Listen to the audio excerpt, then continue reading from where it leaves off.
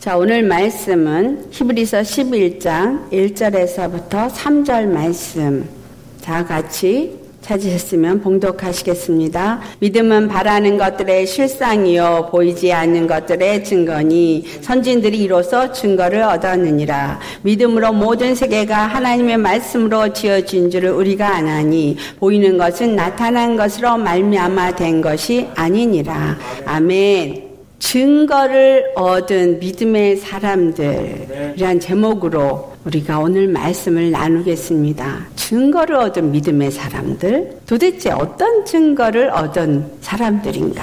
오늘 11장 1절 말씀에 믿음은 바라는 것들의 실상이요 보지 않는 것들의 증거니 이렇게 말씀을 하고 있습니다. 여기서 말하고 있는 것 첫 번째 믿음이란 도대체 무엇인가? 우리 믿는 사람들은 수없이 믿음, 믿음, 믿음에 대한 이야기를 합니다. 그런데 이 믿음 이 잘못되어져 있어가지고 굉장히 관념적인 믿음으로 갖고 있다라는 것이 문제입니다. 믿음은 오늘도 여기 있는 것처럼 실상이에요, 실상. 믿음은 실상, 실제로 내가 사는 가운데 그것을 실상이라는 건 뭐예요? 실제로 보는 것을 실상이라고 말하죠. 하나님은 보이지 아니하는 하나님이에요. 그런데 그 보이지 않는 하나님을 믿는 내가 그것이 보이는 하나님을 믿는 것 같은 실상으로 우리가 누리는 것이 믿음이라는 사실이죠. 믿음이 뭔가? 첫 번째 말씀하신 게 바라는 것들의 실상이다. 이렇게 말합니다. 자, 우리가 바라는 것은 도대체 무엇입니까? 이 땅에 사는 사람들이 바라는 것은 뭐예요? 이 땅에서 잘 먹고 잘 살고 행복하고 싶은 거. 그래서 이 땅에 있는 사람들도 똑같은 믿음이 있어요. 그래서 이 땅에 있는 사람들도 열심히 돈을 벌려고 또 공부를 하고 직장을 다니고 그리고 열심히 일을 합니다. 이 믿음이에요, 이것도. 내가 공부를 잘하면 좋은 직장을 갈 수 있고 내가 열심히 일을 하면 돈을 잘 벌어서 이 땅에서 잘 먹고 잘 살 수 있다고 생각하는 믿음. 그래서 이 믿음은 실제로 아직도 일어나지 않은 것이지만 그것을 얻을 거라는 실상으로 믿기 때문에 하는 것이 믿음이죠. 똑같아요. 오늘 성경에서 말씀하고 있는 것은 우리가 바라는 것들, 우리가 바라는 것들이 이 땅에서 실제로 있다. 보는 것 같이 믿는 게 믿음이라는 거예요. 우리의 소망은 영적인 소망. 그렇죠. 믿는 사람들이 갖는 소망은 무슨 소망이에요? 영원한 천국에 들어가는 소망. 그런데 그 영원한 천국에 들어가는 소망이 실상이 되어져 있다라는 이야기는 어떤 일이 있어야 되는 거예요? 내가 실제로 천국을 이 땅에서 누리는 실상을 가진 사람이 되어야 하는 거죠. 그러니까 믿음은 천국의 실상이 내게 이루어지는 게 믿음이다라는 사실이에요. 예수 그리스도를 믿고 구원을 받았습니다. 우리가 이렇게 말을 해요. 그럼 예수 그리스도를 믿고 구원을 받았다는 실상은 구원을 이 땅에서 받은 것을 계속 계속 계속 느끼고 경험하면서 가는 것이 믿음이라는 사실이에요. 두 번째 말씀은 보이지 않는 것들의 증거다라고 말합니다. 보이지 않는 것들의 증거라. 무엇에 대한 증거? 보이지 않는 것. 이 땅에 믿는 사람들이 보이지 않는 것들의 증거를 어떻게 알 수 있어요? 보니까 어떤 사람이 자서전을 읽어보니 그 사람이 열심히 일을 하다 보니까 갑부가 됐어. 현대 정종 회장이 어떻게 해서 갑부가 되었는지 그 스토리를 가지고 사람들이 굉장히 흥미진진해서 드라마까지 나올 정도로 그렇게 봤어요. 어떻게 하면 저렇게 회장이 될 수 있는가? 이 세상의 사람들도 자기의 삶에 어떤 그 테스모니를 해요. 그 자기가 이 땅에서 이렇게 했더니 이러한 결실을 얻었고 내가 이와 같은 부와 영화를 가졌다라고 말해요. 성경은 우리 가운데 참으로 그 보이지 않은, 아직은 얻지 않은 그런 것들을 가진 증거들을 보고 우리도 따라가는 거예요. 그러한 증거를 누가 말하고 있어요? 구약에 있는 모든 사람들이 그것을 말하고 있어요. 아직 우리가 얻지도 않았어요. 아직 우리가 보지도 않았어요. 우리가 경험하지도 않은 그것, 그것을 향해서 그 사람들은 증거하고 있었기 때문에 그 증거를 보면서 예수님이 정말 우리 하나님 되시고 그 하나님을 우리가 만날 때 어떠한 삶을 산다는 증거를 구약의 증거자들을 통해서 우리도 그 증거를 가진 자가 되어지는 겁니다. 자, 2절을 보면 선진들이 이로써 증거를 얻었느니라. 선지들, 구약에 있는 모든 사람들이 증거를 얻었는데 무엇 때문에 증거를 얻었냐 하면 믿음 때문에 증거를 얻었다는 거예요. 무엇에 대한 증거를 얻었다는 것입니까? 바로 보이지 않는 것들의 증거를 얻었다라고 말하고 있어요. 여기서 보이지 않는 것들의 증거를 얻었다라고 하는 그 선진들이 가졌던 그 증거, 그들이 우리가 증거를 얻었느니라 라고 말하는 그 단어가 히브리 언어에서 뭐라고 표현하냐 하면은 말트레오라 그래요. 말트레오라는 이 단어가 어떤 의미를 갖고 있느냐. 이 단어가 갖는 의미는 증인이 되다 이러는 증거를 얻었다라는 얘기는 증인이 되다라는 뜻이에요. 또 다른 의미로는 증거하다 그러니까 증거를 얻었다라고 우리가 여기서 해석을 했지만 아 그들은 증인이 되었고 증거하는 자가 되었다라는 의미구나. 근데 법정에서 증인이 되고 증거하는 사람은 자기의 본 것, 자기가 들은 것, 자기가 경험한 확실한 것을 증거할 때 증거한다. 이렇게 말하죠. 그렇다면 이 선진들이 말하고 있는 증거한다. 증인이 되었다 라고 이런 얘기를 하는 것은 자기가 본 거, 들은 거, 경험한 그 어떤 것들을 확증하는 것을 말하고 있어요. 근데 그들이 무엇을 보고 무엇을 경험했기 때문에 그렇게 자신있게 확증을 할 수 있겠느냐. 또한 이 성경은 성령의 감동으로 말미암아 쓰여졌다 이렇게 말하죠. 그래서 이 마트레로라는 이 단어 속에는 어떤 의미를 있냐면 성령의 계시와 그 영감을 받아서 그런 것들로 인해서 증거한 것도 써져 있어요. 모세가 창세기 에 일어난 사건을 봤습니까? 못 봤죠. 그런데 창세기를 기록했어요. 누구에 의해서? 성령에 의해서. 그가 성령으로 말미암아 계시의 영을 받았기 때문에 창세기를 기록한 거예요. 또 선지자들은 앞으로 되어질 일을 계시를 받아서 기록을 한 것이죠. 이와 같이 믿음은 두 가지를 우리에게 말하고 있어요. 바라는 것들을 실상으로 누리는 자요. 또한 보지 않은 것들을 증거할 수 있다. 그렇다면 이 믿음의 사람들은 하나님의 성령의 그 영감과 감동을 받아서도 얼마든지 증거할 수 있게 된다는 이야기죠.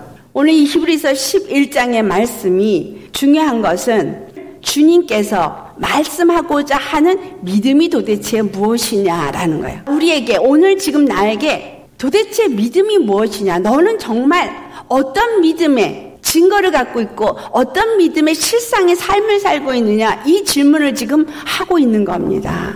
오늘 본문 말씀 중에서 3절에 있는 말씀을 보면 믿음으로 모든 세계가 하나님의 말씀으로 지어진 줄을 우리가 아나니 보이는 것은 나타난 것으로 말미암아 된 것이 아니니라 이런 말을 해요. 믿음으로 모든 세계가 하나님의 말씀으로 지어졌다라는 것을 안 되는 거예요.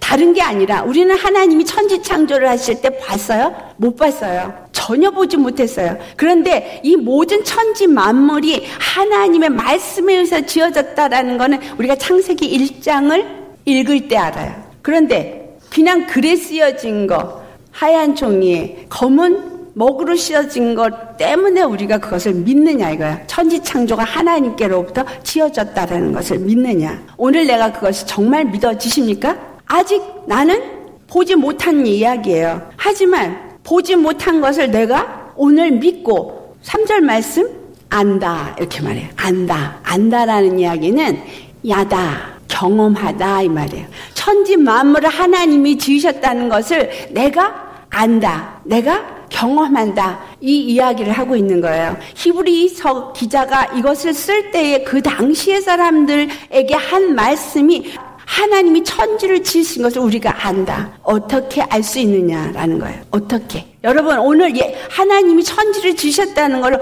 어떻게 아십니까? 그것을 알 수 있는 것은 바로 여호와 하나님이 천지 만물을 주장하시는 하나님이라는 것을 알기 때문에 그것을 믿는 믿음이 내 안에 주어졌기 때문이에요. 요한일서 1장 1절에 보니까 사도 요한이 말하기를 태초에 있는 말씀을 내가 보았고 만졌고 그렇게 표현해요. 자, 예수 그리스도가 태초에 계셨던 생명의 말씀이라는 것을 어떻게 할 수 있냐면 그가 부활하신 것을 알기 때문에 그분이 태초의 생명의 말씀이었던 거예요. 그리고 그 태초의 생명의 말씀이 천지를 지으셨다는 것을 아는 거죠. 그래서 우리가 보았고 우리가 만졌고 천지를 창조하신 하나님을 우리가 보았고 만졌고 근데 그 예수님을 내가 믿도록 성령님이 내 안에 들어오셔서 나로 믿게 했기 때문에 내가 예수님을 믿고 아는 자가 되었고 그 천지를 그분이 지으셨다는 것을 믿고 아는 자가 되어진 거예요. 그래서 우리의 믿음은 어디에 기본 시초가 이루어져야 하냐면 천지 만물을 지으신 창조주 하나님 그 하나님이 바로 예수 그리스도로 이 땅에 오신 분이시다. 이것이 우리 믿음의 시작이에요. 요한복음 17장 3절에 영생은 이것이니 유일하신 참 하나님과 그가 보내신 자 예수 그리스도를 아는 것이다. 라고 말해요. 유일하신 참 하나님이란 얘기는 천지 만물을 지으시고 만물을 통치하시는 분은 단 한 분 여호와 하나님 뿐이시다라는 거죠. 그리고 그것을 내가 알게 되어진 것은 성령이 오늘 내 안에 오셨다라는 거죠. 그 성령이 오셔서 그 천지를 지신 여호와 하나님을 나로 믿고 알게 했어요. 그리고 다음에 그가 보내신 자 예수 그리스도를 아는 것이다. 그가 보내신 예수 그리스도 십자가에서 죽으신 나의 구세주 예수 그리스도 그가 바로 나의 구원의 하나님이라는 것을 믿고 아는 자가 되었다라는 거예요. 어떻게 성령이 내 안에 오셨기 때문에 성령이 내 안에서 알게 하셨기 때문에 그러면 성령이 오셨다는 얘기는 죽으신 예수 그리스도가 부활했다라는 거에 대한 증거가 당연히 나온 것이고 그가 부활하셔서 승천하셨다는 증거도 되어지는 것이고 그 보좌에 앉으셨다는 증거도 되는 것이고 그 보좌에 앉으신 예수님이 천지 만물 하늘에 있는 것 땅에 있는 것 땅 아래 있는 모든 권세를 다 다스리는 주 하나님이 되셨다. 만 주의 주, 만 왕의 왕이 되셨다는 것을 아는 것이다라는 거예요. 그것을 내게 믿게 하여 주신 겁니다. 아멘. 내가 믿는 게, 어, 나 그거 믿어요. 그렇다면 모든 만물이 그의 말씀에 의해서 주장되어지고 있고 이루어지고 있고 다 그대로 운행되고 있다라면 오늘 그 말씀이 내 안에 올 때 무엇으로 와야 된다는 얘기예요? 명령으로 올 때 절대적으로 그 말씀은 명령이 되어야 한다라는 거예요. 절대적으로 그 말씀은 해도 되고 안 해도 되는 게 아니라 절대적인 말씀이다 이 말이에요. 이것이 우리에게 주는 주권의 신앙이에요. 절대적인 거. 절 절대적인 하나님의 주권 앞에 순복되어진 신앙. 이걸 말하고 있는 거예요. 그래서 바라는 것들의 실상, 보지 못하는 증거를 이것이 믿음이다라고 할 때 이게 무슨 뜻이지? 막연히 생각하고 막연히 믿음이라는 것이 어떤 믿습니다 하면 믿는 것가 아니라 믿음은 그러니까 세계 만물이 그 말씀에서 지었다는 것을 우리가 알고 믿는 것처럼 주권의 하나님, 만물의 주가 바로 우리 주 예수라는 사실을 믿고 그 발 앞에 우리는 절대적인 순종이 따르어야 된다라는 거예요. 그래서 믿음은 바로 이러한 주권의 신앙을 가진 상태를 말하고 있다라는 사실이죠. 그렇다면 만물을 주장하시고 주권하시는 그 하나님, 그 예수가 내 모든 죄를 사고 나의 구원의 주가 되셔서 나를 그 어떤 수렁에서도 건져준다고 말씀하셨으니 내 믿음은 그 주권의 신앙을 가진 믿음은 아무것도 염려할 필요가 없이 그분 안에서 주신 자유와 안식을 누리게 하여 주신다라는 사실입니다. 아멘. 선진들이 이로써 증거를 얻었다. 이로써 무엇으로? 믿음으로써 선진들이 믿음으로써 증거를 얻었대요. 자, 그래서 그 다음에 쭉 믿음의 사람들의 이야기가 나옵니다. 우리 자, 이 사람들이 무엇을 위해서 했는가? 이 이야기를 볼 때 세상이, 이 보이는 세상이 바로 보이는 것으로 지어진 것이 아니라는 것을 말하고 있다라는 거예요. 세상이 보이는 것으로 우리 앞에 놓여져 있지만 이 모든 보이는 세상이 보이는 것에 의해서 창조된 게 아니고 보이는 것에 의해서 움직이는 게 아니라는 사실이에요. 대통령이 누가 됐느냐? 그게 중요한 게 아니라는 거예요.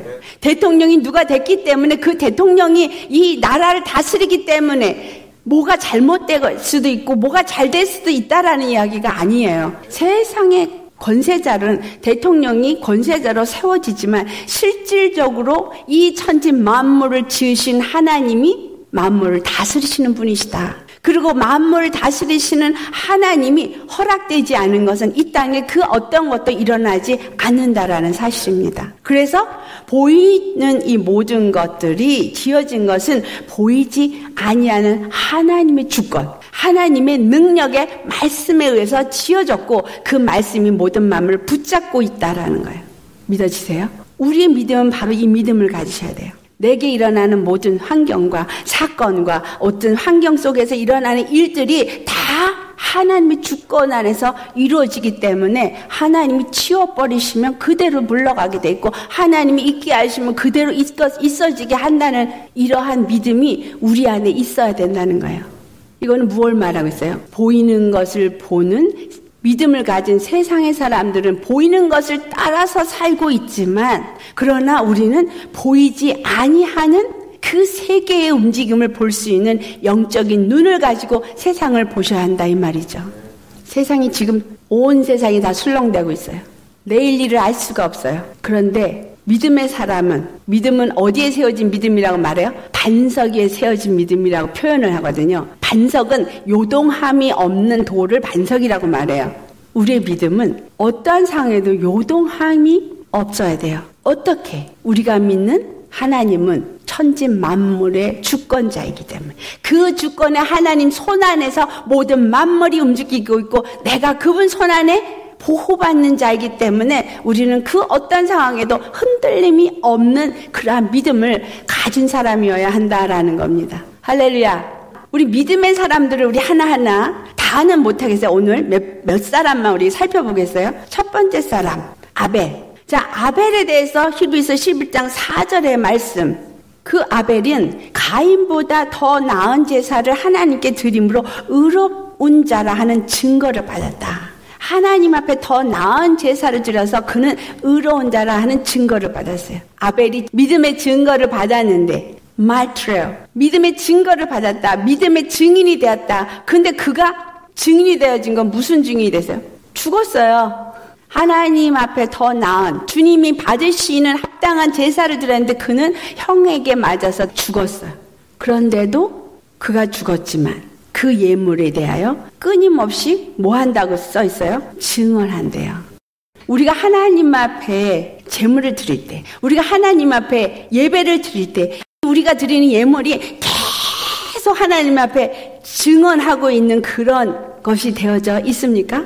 그럼 이 예물은 무엇을 나타낸 예물이냐면 바로 하나님 앞에 온전히 드려진 어린 양의 피를 말하고 있죠. 아벨이 드린 제사는 어린 양의 피의 제사였어요. 다시 말해서 우리 주 예수 그리스도가 어린 양으로 이 땅에 오셔서 하나님 앞에 드려지는 속죄제물, 하나님 앞에 드려지는 번제물, 화제물, 화목제물로 드려진 이 모든 것들을 바로 이 아벨이 드렸다 이 말이죠. 그는 알지 못하고 드린 것 같지만 믿음으로 하나님 앞에 그 피의 제사를 드렸을 때 그 제사를 하나님이 받으셨다라는 이야기예요. 그렇다면 오늘 우리에게는 어떤 예배가 그러한 예배일까요? 하나님이 정말 기뻐 받으시고 의로운 자라고 그 증거가 계속되어지는 예물, 하나님 받으시는 예물, 내가 세상에서 벌은 돈 몇 푼을 갖다가 드리는 이게 아니라 여러분이 일부를 드려도 그 일부 안에 여러분의 모든 마음이 들어있어야 돼.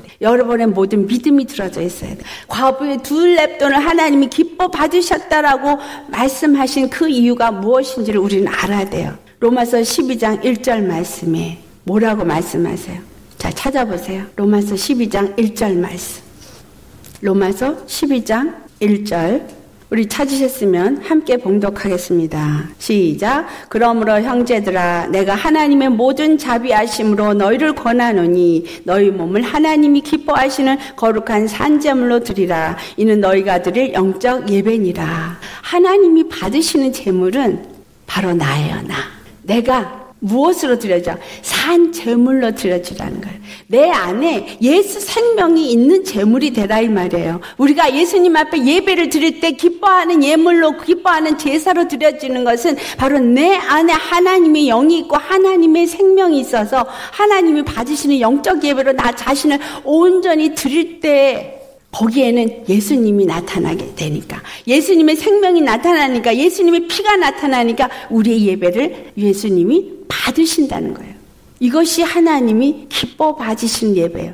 정말 주님이 기뻐하는 그런 예배를 드리면 그것이 하나님이 나에게 의로운 자라.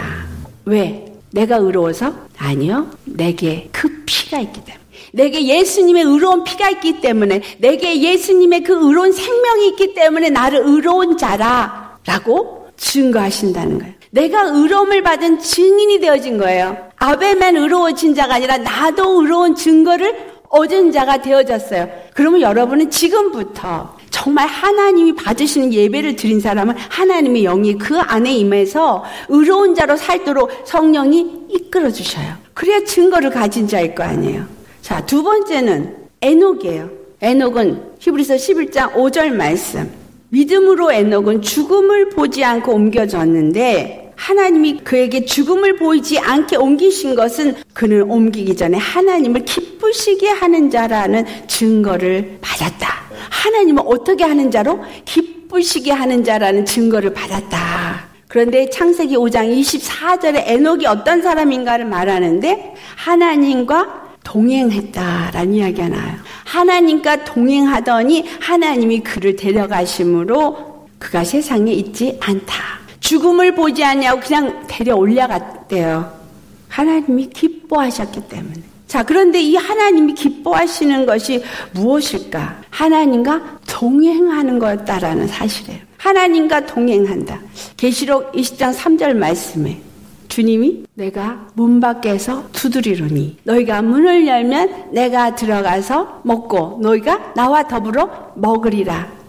주님이 내 안에 내가 주님 안에 들어가서 주님과 함께 먹고 마시며 요한복음 10장 9절 말씀이에요. 우리가 들어가며 구원을 얻고 들어가며 나오며 꼴을 얻고 주님과 늘 함께 다니는 사람이에요. 뭘 하면서? 생명의 꼴을 먹으면서. 그러니까 여러분이 어디에 있든 무엇을 하든 어떤 상황에 있든 주의 말씀이 늘 여러분에게 말씀하고 있고 그 말씀에 지배를 받고 그 말씀으로 인해서 꼴을 먹고라는 이야기야. 생명을 계속 지속적으로 공급받는 상태의 삶을 사는 사람.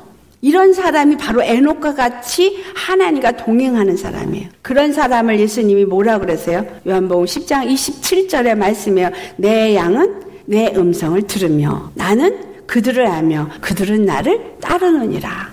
정말 하나님과 동행하는 사람은 하나님의 음성을 듣는 사람이에요. 그 말씀을 따라서 순종하는 사람이에요. 그래서 교회들은 성령이 교회들에게 하는 말씀을 들을지어다라고 말씀하는 거예요.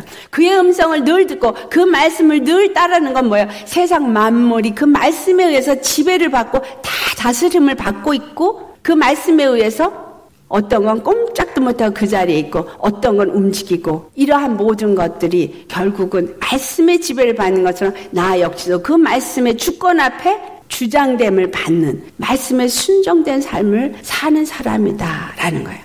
모든 페인은 떠나갔잖아. 예수의 이름으로만 떠나갔잖아. 주님 안에서 이 모든 명령이 그대로 명령되었을 때 그대로 그 모든 것들이 꼼짝 못하고 순종하는 이유는 그 말씀이 뭐기 때문에 능력이기 때문에 아멘. 십자가 여러분 안에 능력입니다. 여러분이 정말 그 믿음이 있으면 그 믿음의 말씀으로 명령할 때 그대로 순종되어지게 되어져 있어요. 주님과 동행한다라는 이 의미가 무엇을 말하고 있냐면 그 권세를 누리는 삶을 살고 있는 거예요. 주님이 나와 함께 하니까. 천국이 나와 함께 하니까 그대로 내가 그 권세를 이 땅에 사는 동안에 사용하는 거예요. 그러니 천국이 실상이 되어진 거죠. 믿음은 그래서 우리가 보지 못하는 것들에, 바라는 것들에 실상으로 이 땅 가운데서 누리는 자가 되어지는 거다, 이 말이죠. 동행은 바로 그런 거예요. 주님과 동행하는 사람, 두려움이 없는 사람, 주님과 동행하는 사람, 정말 평안과 안식을 누리는 사람, 이와 같은 사람이 주님과 동행하는 사람이에요. 보이는 것을 보지 않는 사람이에요. 여러분 그런 사람이십니까? 이 에녹이 그런 사람이었어요. 그래서 죽음을 보지 않고 하나님과 함께 하늘에 올라갔어요. 그 이유는 그가 하나님을 기쁘시게 하는 삶을 살았기 때문에. 아멘. 하나님과 함께하고 하나님을 기쁘게 하는 사람은 그의 말씀에 음성을 그대로 순정하는 사람이다. 그 에녹이 하나님을 기쁘시게 한 것이 무엇인가를 6절에 말씀하세요. 히브리서 11장 6절. 믿음이 없이는 하나님을 기쁘시게 하지 못하나니 하나님께 나아가는 자는 반드시 그가 계신 것과 또한 그가 자기를 찾는 자들에게 상 주시는 이심을 믿어야 할지니라. 하나님이 계신 것을 믿고 주권의 하나님이 살아서 역사하신다는 것을 믿고 그를 바라는 사람에게 상 주신다는 얘기는 항상 그분의 주권 아래서 그분의 손 아래서 그의 말씀의 지배를 받고 사는 사람 이 땅에 어떠한 삶을 살던 그 모든 것의 결과 끝은 주님이 다 그 모든 일에 상 주시는 이시다. 바로 그 하나님을 믿는 주권의 신앙을 가진 사람, 이 사람이 바로 하나님이 기뻐하는 사람이다. 라는 거예요. 자, 그 다음에 세 번째, 11장 7절에 노아의 이야기를 합니다. 노아는 어떤 사람이었느냐? 보이지 않는 일에 경고하심을 받아서 경외함으로 방주를 준비했다. 그래서 그 집을 구원함으로 인해서 그가 어떤 일을 했냐면 첫째, 세상을 정죄하는 일을 했어. 둘째, 믿음을 따르는 의의 상속자가 되었다. 참 놀라운 일입니다. 이것은 그냥 아 노아가 어느 홍수 때 그냥 방주를 지으라 그랬으니까 그냥 방주를 지은 거야가 아니에요. 그는 보이지 않는 일의 경고를 받았어요. 120년 동안 노아 방주를 짓는 동안 비 한 방울 나오지 않았는데 이 땅에 심판이 이루어질 거라는 말씀을 받고 그 말씀을 받은 자로서 그냥 방주를 지은 거예요. 그것도 바닷가에 지은 게 아니라 산 꼭대기에다가 방주를 지었어요. 모든 사람이 조롱했어요. 비난하고 비웃고 조롱했지만 그는 끝까지 하나님이 하신 그 경고의 말씀을 아직 이루어지지 않은 말씀을 그대로 경외함으로 경외 뭐예요? 두렵고 떨림으로 주의 말씀을 받은 사람의 자세가 경외함이에요. 하나님의 말씀은 심판의 말씀이요. 하나님의 말씀은 반드시 이루어진다라는 말씀으로 받았다는 거예요. 우리는 하나님을 믿는다고 하면서 하나님 말씀 경외 안 해요. 말씀은 말씀이고 나는 나. 그리고 믿는데요. 경외함이 없어요. 하나님의 말씀은 경외하는 사람은 절대 순종해야 돼요. 절대 순복해야 돼요. 아브라함이 경외함을 얻었을 때가 어떤 때였어요? 이삭을 모리아 산에 갖다 바치라 그랬을 때 그는 모리아 산에 그냥 갔다가 바쳤어요. 그럴 때 하나님이 하신 말씀이 아브라함아 아브라함아 이제 내가 나를 경외하는 줄을 내가 알았느니라. 세상에 이삭을 통해서 하나님께서 바다의 모래와 같이 하늘 별과 같은 내 후손을 만들겠다고 했는데 이삭을 죽이라 했는데도 두려움 없이 가차 없이 칼을 들어 죽이려고 했던 그 믿음. 하나님이 하라고 하시면 절대적으로 순종해야 되는 그 믿음이 경외의 믿음입니다. 도대체 우리의 믿는 믿음이 무엇이냐라는 거예요. 하나님의 말씀을 얼마만큼 경외하십니까? 절대적으로 경외하셔야 합니다. 그 말씀은 절대적인 거예요. 해도 되고 안 해도 되는 게 아니라 말씀하신 대로 해야 돼요. 그래서 그 경외함으로 그가 이룬 일이 두 가지 있어요. 세상은 정죄를 받았어. 그런가 하면 그는 의의 상속자가 되었어. 할렐루야. 하나님을 경외함으로 그가 순종을 하였더니 그 말씀에 순종함으로 인해서 하나님의 뜻을 이루었어요. 하나님의 영광을 나타낸 거예요.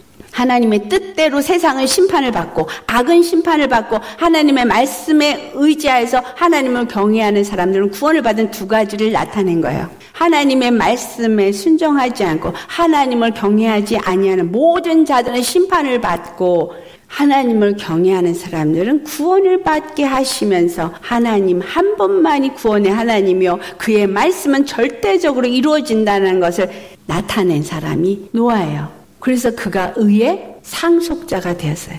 할렐루야. 자, 우리가 의의 상속자이십니까?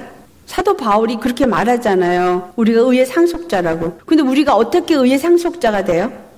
의의 상속자. 여러분 의의 상속자 되셨습니까? 자, 의의 상속자는 어떤 사람이에요? 로마서 8장 17절 말씀. 로마서 8장 17절 말씀.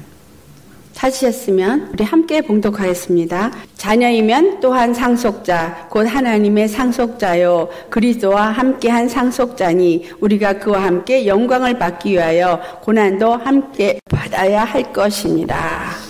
정말 의의 상속자가 되기를 모든 사람들이 원해요. 상속자는 예수 그리스도 한 분이신데 그 예수 그리스도 상속자 되시는 그분 안에서 나도 의의 상속자가 되기 위해서는 바로 예수 그리스도의 의에 나도 동참해야 한다는 거예요. 그리스도의 의에 동참하는 것은 바로 십자가의 의에 동참하는 거예요. 예수님 십자가에서 이루신 일이 뭐예요? 죄악을 심판하고 의를 드러내신 일. 노아가 방주를 짓는 것과 똑같은 일이에요. 우리가 예수님과 함께 십자가에 죽고 예수님을 믿는 믿음 안에서 사는 생명의 사람으로 살 때 우리가 그리스도와 함께한 상속자가 되어집니다. 그렇기 때문에 그와 함께 영광을 받기 위하여 고난도 함께 받아야 할 것이다. 라는 이야기를 하는 것이죠. 그래서, 아, 의의 상속자가 된 노아는 사람들로부터 핍박을 받고 그들로 하여금 조롱을 받고 침뱉음을 당하는 고난을 예수님이 받으신 것처럼 그도 받았어요. 그리고 방주를 지었어요. 자, 이것이 창세기에 있는 그냥 방주를 짓는 노아의 한 일이 아니라 이것은 바로 이 시대에 예수 믿는 자들이 예수 그리스도의 십자가를 통해서 짓기 시작한 구원의 방주에 나도 짓기 시작하는 일을 동참하는 노아의 가족과 같은 자, 예수 그리스도의 한 가족이 되어진 자를 말하고 있어요. 오직 그 예수 그리스도 함께 한 가족이 된 사람만 의의 상속자가 되어지고 하나님의 방주를 짓는 일을 해서 세상은 심판을 받고 의의 사람은 구원을 받는 것을 짜잔짠 나타내요. 언제? 예수님 오셨을 때. 세상은 완전한 심판 가운데 놓이고 그 예수 그리스도 안에서 함께 방주를 지은 의의 사람은 의의 상속자가 된다라는 것을 말하고 있는 거예요. 지금 이 시대가 바로 방주를 짓는 시대입니다. 예수 그리스도 안에서 그리스도의 몸을 짓는 시대예요. 내가 열심히 예수 그리스도 안에서 무너진 것들이 세워지고 그리고 날 통해서 또 무너진 하나님의 영혼들을 세워서 그들도 우리와 함께 접목해서 예수 그리스도 안에서 그리스도의 교회로 세워지게 하는 거. 이게 방주를 짓는 거예요. 내 믿음이 어떤 믿음이냐? 예수 그리스도로부터 증거를 받은 우리의 선진들은 어떤 선진들이었느냐라는 것을 볼 때 우리에게 믿음이라는 것을 가르쳐 주고 있다라는 거죠. 오늘 마지막으로 제가 다룰 사람이 이제 아브라함. 아브라함은 여러분 너무나 잘 아는 사람이에요. 그런데 이 아브라함이 오늘 히브리서 11장 8절에서부터 10절까지 말씀만 가지고 우리가 보면 그는 하나님이 아직 갈 바를 알지 못해. 나아갈 길도 알지 못해. 어디 가본 적도 없는 길이야. 그런데 그곳을 가라 그랬어. 장래 유업을 약속하시고 가라 그랬어요. 그 약속하신 그 약속 하나를 붙잡고 가보지도 않은 길을 믿음으로 그냥 간 사람이 아브라함이에요. 그가 그러면서 이방에 거하면서 거기에 있을 때 사는 삶을 이방인과 같이 산 사람이에요. 약속을 붙잡고 산 사람. 그리고 가보지도 않은 길을 그 약속 하나만 붙잡고 순종하여 간 사람. 그 다음에 이 땅을 살 때 하나님이 약속한 그 본향을 사모해서 이 땅에서는 나그네와 같이 외인과 같이 산 사람이다. 라는 그의 믿음은 우리에게 이것을 가르쳐 주고 있어요. 우리가 이 땅을 사는 동안에 우리는 어떤 사람으로 살아야 되느냐? 하나님의 약속을 가진 사람으로 살아야 되는 거예요. 그 약속을 가진 사람은 가는 길을 알지 못해도 끝까지 그 길을 순종하며 가야 되는 거예요. 그리고 또한 이 땅에 사는 동안에 이 땅이 내가 살 정착지로 이 땅에서 집 짓고 잘 먹고 잘 살고 이 땅에 뭔가를 쌓는 사람이 아니라 이 땅에서는 외인과 나그네 같은 사람이요. 오직 저 본향을 가기 위해서만 나그네와 외인처럼 사는 사람이다. 라는 겁니다. 이 모든 사람들이 참으로 이와 같이 그 믿음을 따라서 살다가 13절을 보면 약속을 받지 못하고 죽었어요. 이 땅의 믿음을 따라서 그 약속을 붙잡고 살고 그 믿음으로 순종하면서 하나님을 경외하면서 살았지만 이 사람들이 죽었을 때 그들은 약속을 받지 못했어요. 그들은 가나안 땅에 들어가 보지 못한 사람들이었어요. 하지만 그들은 뭐라 그랬어요? 13절 말씀 멀리서 보고 환영하며 멀리서 보고 환영한다는 얘기는 보지 못하는 것들의 증거를 가진 상태로 사는 사람이다. 정말 아직 누리지도 못하고 아직 얻지도 못했으면서도 믿음으로 살았는데 우리는 성령님이 우리 안에 들어와서 확실하게 내 안에 내재하시면서 모든 것을 가르쳐 주는데도 제대로 믿는 믿음의 삶을 제대로 경외하는 믿음의 삶을 살지 않고 있다라는 이 자체가 우리가 철저하게 하나님 앞에 회개해야 될 부분이라는 거예요. 정말 믿음을 증거로 받은 자가 선진들만이 아니라 바로 내가 되어야 합니다. 여러분이 되셔야 합니다. 그렇다면 여기서 지금 다른 몇 가지의 사람들만 갖고도 얘기를 할 때 우리는 날마다 하나님이 받으실 산제사, 영적 예배를 드리는 사람이 되어야 해요. 그 다음에 하나님이 정말 기뻐하시는 하나님과 동행하시는 그러한 삶을 사셔야 한다는 거예요. 늘 살면서 하나님이 계신 것을 믿는 믿음. 그 모든 것에 상 주시는 하나님을 바라보는 믿음으로 늘 생명의 말씀에 순종하며 사는 자가 되셔야죠. 아멘. 그리고 또한 하나님을 경외함으로 순종하여서 하나님의 그 뜻이 이 땅 가운데 이루어지도록 악은 진멸을 당하고 의는 드러나는 예수님의 권세와 능력을 사용하는 그러한 사람으로 방주를 짓는 그리스도의 몸을 짓는 사람으로 살아야 합니다. 그런 사람들이 늘 이 땅에서는 나그네 같이 사는 사람. 그 본향, 아버지의 약속하신 그 본향을 향해서만 사모함으로 사는 사람. 그런 사람이 되어야 한다라는 거예요. 우리 마지막으로 히브리서 11장 39절 말씀 같이 봉독하겠습니다. 이 사람들은 다 믿음으로 말미암아 증거를 받았으나 약속된 것을 받지 못하였으니 아멘. 이 사람들은 약속된 것을 받지도 못하면서 믿음의 증거를 받은 사람으로 성경에 기록이 되어져 있습니다. 우리는 그런데 그 약속한 걸 받은 사람이에요. 아, 나 아직 천국에 안 갔는데 성경은 뭐라 그래요? 천국이 여기 있다 저기 있다 이제 하지 말고 천국이 바로 너희 안에 있다. 그럼 여러분은 약속한 걸 받은 사람이에요? 안 받은 사람이에요?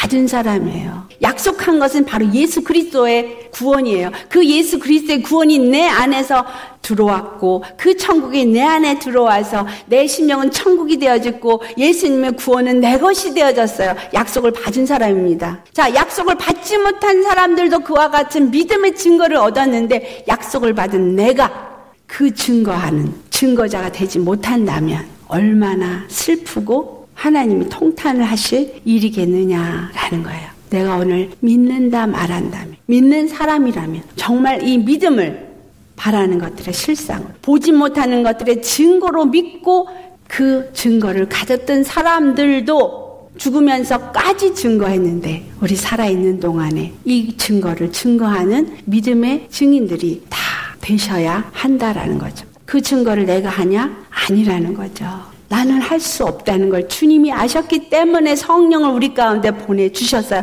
그래서 성령이 내 안에서 나를 통해서 일하시도록 나는 그냥 들이시면 돼요. 내가 뭘 하려고 할 것이 아니라 주님 하시옵소서. 주님 사용하시옵소서. 주님 나를 써 주소서. 주님 나를 보내 주시옵소서. 이사의 선지자의 말씀처럼 누가 나를 위하여 갈고 누가 나를 위해서 저 고통하는 자들에게 갈고 누가 나를 위해서 저 배고픈 자들에게 갈고 누가 나를 위해서 저 슬퍼하는 자들에게 갈고 저 정말 어둠에 매여 있는 자들에게 저 옥에 갇혀 있는 자들에게 누가 갈고 저 헐벗은 자들에게 누가 갈고 주여 나를 보내소서. 주여 나를 써 주소서. 그렇기 때문에 우리는 성령 충만함이 필요한 거예요. 말씀과 기도로 주님이 생명으로 충만하게 채우기를 원하시는 것은 바로 우리를 통해서 바로 그분의 뜻을 이루기를 원하기 때문에 오늘 나를 부르신 이유, 오늘 나에게 믿음을 주신 이유, 이것은 믿음의 증거를 가진 자로서 믿음의 증거를 나타내는 자로 사용하기를 원하시고, 그래서 하나님의 뜻을 이루시기를 원하기 때문입니다. 우리 모두 이러한 믿음의 증거를 가진 자들이 다 되시기를 예수의 이름으로 축원합니다. 아멘. 할렐루야. 그저 믿습니다 하고 교회 나오는 게 믿음이 아니에요. 믿습니다 하면서 그냥 성경 읽고 뭐 기도한다고 하루에 뭐 한 시간, 두 시간 엎드려 있는 게 믿음이 아닙니다. 교회 가가지고 봉사하고 헌금 얼마 내는 게 믿음이 아니에요. 우리 삶 속에 정말 내가 가진 보이지 않은 것들의 실상 또한 바라는 것들의 실상 보지 못한 것들의 증거가 나타나는 저와 여러분 되시기를 예수 이름으로 축원합니다. 기도하시겠습니다.